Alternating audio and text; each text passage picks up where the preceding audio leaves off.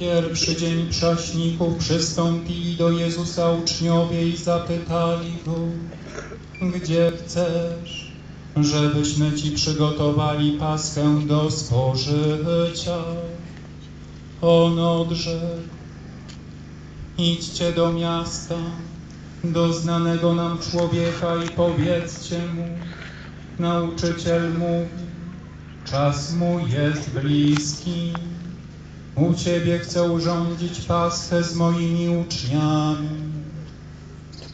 Uczniowie uczynili tak, jak im polecił Jezus i przygotowali Paschę. A gdy oni jedli, Jezus wziął chleb i odmówiwszy błogosławieństwo, połamał i dał uczniom, mówiąc, bierzcie i jedzcie, to jest ciało moje.